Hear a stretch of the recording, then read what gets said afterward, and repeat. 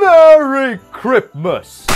Yeah, look, you try finding a blue Santa hat. God, it tastes like a furry just face fucked me. Christ. Ah. G'day mates, and welcome to our little secret Santa, our Kris Kringle, whatever the hell you want to call it, although I avoid Kris Kringle because everyone ends up typing KK into their phones and it just gets real weird after a while. So, myself, ISP, and Bokoen have decided to swap presents. We're giving two, you know, two sets of gifts to each other. Um, This is ISP's. It looks like a bomb. It was meant to look like a bomb, apparently. I am surprised Australian customs did not stop this. Uh, so I've uh, just got uh, this here for protection, just in case. Just gonna cradle this and stay nice and safe from whatever the hell's in there. I've actually had that for a good week or two now. Uh, Bo's still hasn't arrived because, of course, Denmark not being a country, it's quite hard to actually ship things from it. You have to, you know, fake it and send it from Germany instead. Uh, so what I'm going to do is, since it's literally almost Christmas, it's Christmas in two hours and seven minutes. Uh, I am going to make a video and open this, and I'll make a separate video where I open Bo's. I'm not going to tell you what I sent to Bo and ISP because I think it's a good surprise. So go check out their videos and see the stupid shit I sent them. I know what ISP sent Bo though, and wow. Uh, needless to say, what Bo is getting is going to be illegal in Australia. I could not own it. Amazing. I wish I had it, but I can't. Uh, so, instead I get whatever the hell's in here. Now, not only does this look like a bomb, but it's like weighted on one side, which makes me really concerned. Or he's just sent me his Fallout 76 helmet, that too. On another note, this is the last video you'll see filmed in this room. Ever, pretty much, probably, because I'm moving out. I've got my own place. And, uh, oh boy, that is gonna be some fun. We're gonna get a proper stream schedule, we're gonna get some cool shit shown there, gonna have a vlog and stuff done, but that's all for another video. However, although I'll definitely show these more in the actual vlog, uh, I wanted to show these awesome displays I got. These like metal paintings. These are The World of 1920 by, eh, God, I've forgotten his name. He's a Polish painter. He, he did the whole, uh, if you know Scythe or Iron Harvest, the games, this is the paintings that those games are based off. And they look fucking beautiful. There's that, and that. Oh, they're good. But, and these are, these are metal, like plates that have the paintings imprinted on them. But this looks even better. Halo, Spartans Never Die. Fuck, that looks good. I was gonna get a Mass Effect one as well, but I think the Halo one looks better. And then the best one, Welcome to 2077. You can, can't really see the writing here. Obviously, they've still got the plastic covering until I set them up in the new place. But fuck, that's sexy. I've got two more Cyberpunk ones coming as well. And uh, yeah, they look good. The contrast looks so good on the bloody uh, on the on the metal. I am fully convinced there's just gonna be smoke coming out of my moment. I'm gonna pass out and then I'll wake up. I'm gonna look at a guy across me and he's gonna go, "Hey, you're finally awake." You were trying to cross the border, right?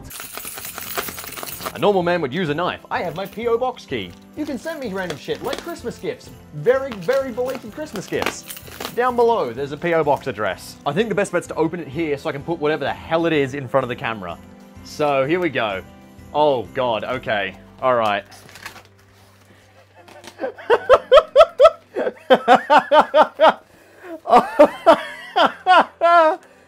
oh my god. All right, we're gonna we're gonna unpack this one by one, shall we? The first thing I saw, Trotsky's writing on Britain, signed by ISP. Leon Trotsky on the back. There we go. Nice, nice. Part 1, British History and Culture. Part 2, The Decline of British Imperialism 1908 to 1926. Part 3, The British Labour Movement 1906 to 1924. I saw white Marxism as I just flicked through this book and I really want to read it now. Hold on, hold on. I found there's an index. Wait, ready, ready, hang on. Would you look at that? You go through all of the D section, which is starts here, starts here, goes up to here. Not one mention of Denmark. No, nothing at all. Well, there we go. I'm gonna read that at some point. Why the fuck have I got this? Oh, there is so much more shit to go. okay, I'm doing the rest of the video in this. Give me a sec. Okay, you can still hear me, right? Okay, here we go.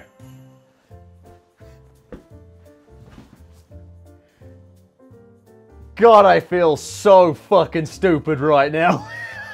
Look at this thing. Oh my god, this is the most retarded kangaroo I've ever seen. I do have an Australian flag cape though, which is bloody awesome. And holy fuck! This thing is boiling! Brilliant! Absolutely brilliant! You know, I really like Trotsky's writing on Britain 1, but it wasn't enough. That's why I've got Trotsky's writings on Britain Volume 2. Also signed by ISP. Part 1, Where is Britain going? Part 2, The problem of the Problems of the British Labour Movement. Part 3, Lessons of the General Strike. But you know that's not enough.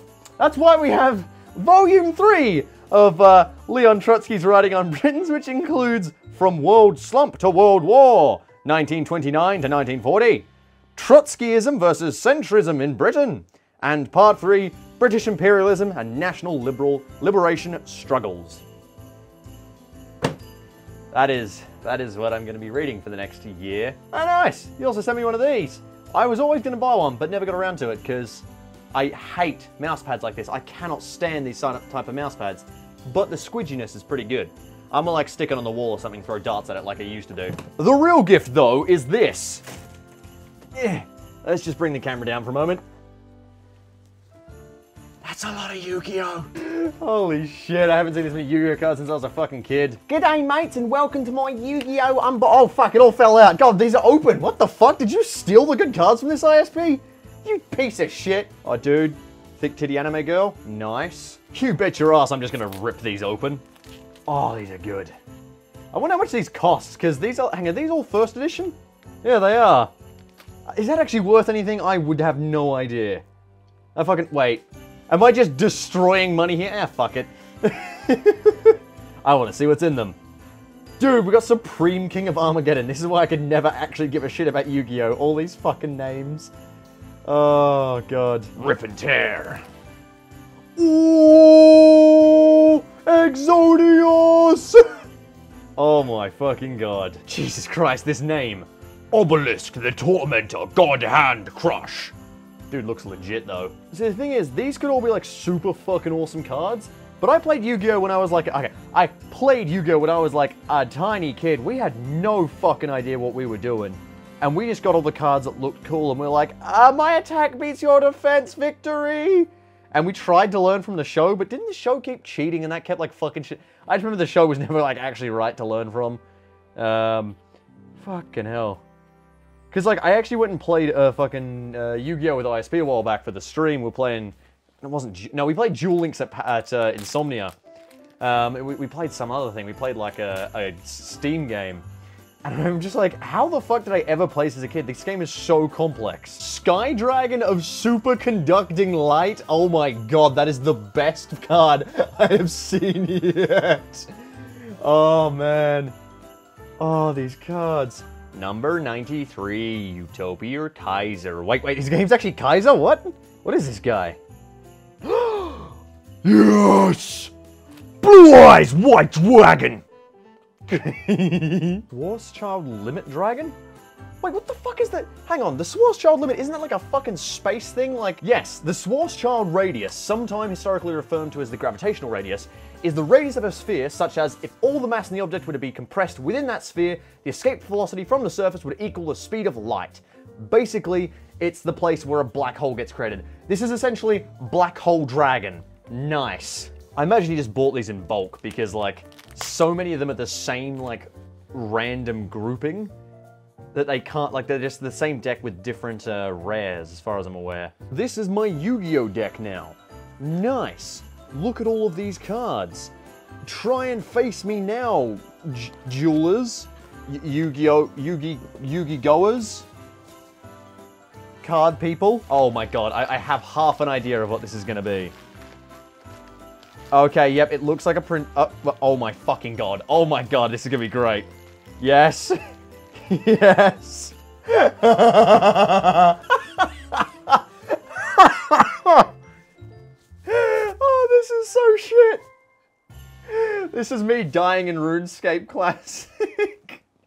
in old school RuneScape, sorry. When, uh, when we were facing that fucking boss. This is me dying to the Kazakh command. is it Kazakh? I think their names are. Oh, fuck me. Hold on. I love how shit the mug is done as well. It's not the front or the back, it's direct face on. This is so shit. Oh, it's amazing. However, inside of it, we have the things we were giving out at Insomnia, a whole bunch of Jerry Beans Mans. Oh, that's a lot of Jerry Beans Mans. I like how many Jerry Beans Mans there are. Oh, I'm gonna, I'm gonna give these out to people. Yeah, I, I like these Jerry Beans Mans. We've got a lot of Jerry Beans Mans. This is good. So, ISP likes to call me on Snapchat occasionally, and I make sure that whenever he calls me, he gets a nice earful of something that should make him really be embarrassed on whatever Discord call or room he's in or, you know, police check he's currently trying to do on my house. Uh, but this just says, so presented by the commander. Combined Joint Task Force, Horn of Africa. Oh boy. This is my commemorative Horn of Africa coin. I'll always remember the finest times serving in the Horn of Africa. You know, those political issues, it's... Oh, I've got words to say about the Horn of Africa, worry you not. Holy shit, I almost went to bed. I didn't realize I put this aside. Whatever the hell this is. I, uh... Oh no. Oh no. Oh my fucking god.